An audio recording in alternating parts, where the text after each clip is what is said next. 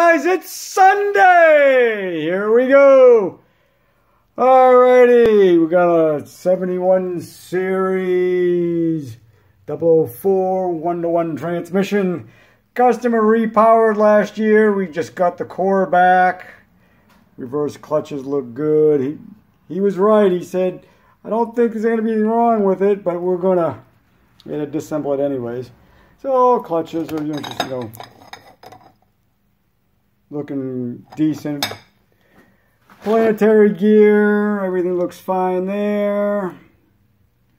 Case is fine. Yeah, just a quick little video. If you have any questions, comments, concerns, blah, blah, blah, blah, blah. You all have heard it before. Give me a phone call.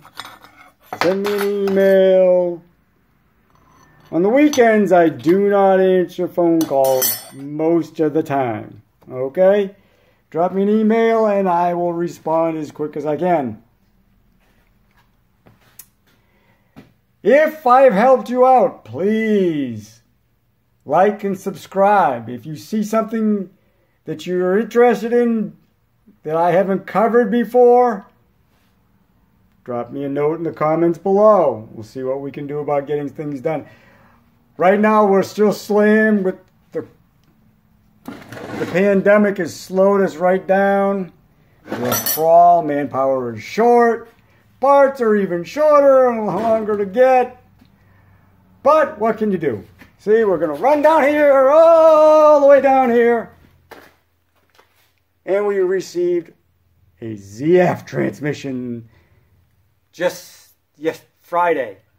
Unbelievable been what six or eight months since we've seen a new transmission come in the door from mm. ZF. Velvet drive just doesn't happen.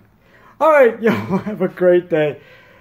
Please, if you like what I'm doing, I do not get any monetization from YouTube and Google, even though I have almost over 107,000, 170,000, no, 107,000 views. Okay?